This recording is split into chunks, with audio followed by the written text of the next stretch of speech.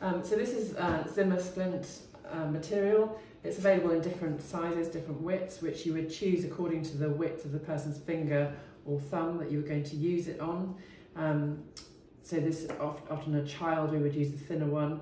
It's got aluminium on the back, so it can be bent if you're needing to use it in a particular configuration. Uh, and then it has foam on the front, which then makes it safe to use against the patient's skin. You need to cut it to the length that you uh, would require, and you need to make sure that when you cut it, there aren't any sharp bits on it. So you'll need a, a good quality pair of scissors, and the idea is to cut a slight curve on it, similar to the one that is that it comes with from the manufacturer. And then just to be absolutely certain, to be on the safe side, there's nothing sharp on there, we put a piece of elastoplast over the end to keep that safe as well. So this uh, splint material can be used for anywhere, anything where you've got a fracture um, in the part of the finger, so the distal phalanx or the proximal phalanx, um, and you want to stabilise it to keep the patient without pain until they're seen um, by a hand specialist. Uh, and indeed, sometimes our uh, treatment, ongoing treatment for it uh, will be that, but it's particularly good when they've been seen and assessed in an emergency department or a minor injuries unit and we don't yet know what the definitive treatment is going to be but they need a splint in order to um, maintain them without too much pain whilst they're waiting to be seen. So if I, if I show you how to put it on, the important thing is, so from the aspects of safety, there's two, there's two things. One is making sure it's not got any sharp bits on the end, and the other is not obviously to um, put it on too tight.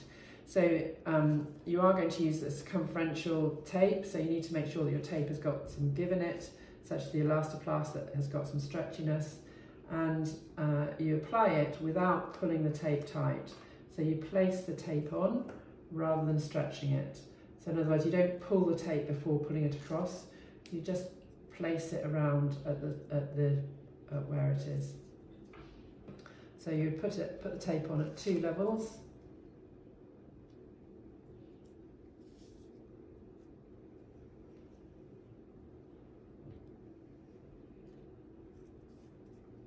and we usually use it on the volar um, surface. So you can see it's not being pulled in too tight, it, the, um, the elastoplast isn't act, uh, acting as a tourniquet and restricting the finger too much. You might want to have had this a little bit shorter so that it doesn't go beyond the end of the finger because that can be annoying, but the patient is still able to flex at the MCP joint. And the important thing is they're able to use all the rest of their fingers. So the fact they've got a painful um, fracture in this finger isn't stopping them from using the rest of their hand. So it's better from that perspective in, in, uh, in order to keep the rest of the hand functional and also allow the patient to do other things that they need to. As I said, it can be bent. So if, for instance, you had a, a patient uh, who you wanted to keep in the position of safe immobilization, you can then use a, a piece that you bend where it's going to be across the MCP joint. So you would be able to bend it there and tape it on like that, and then they'd still be able to move the wrist, um, and you cut it to the length uh, that was required for that. So it's quite versatile and can be used for many things.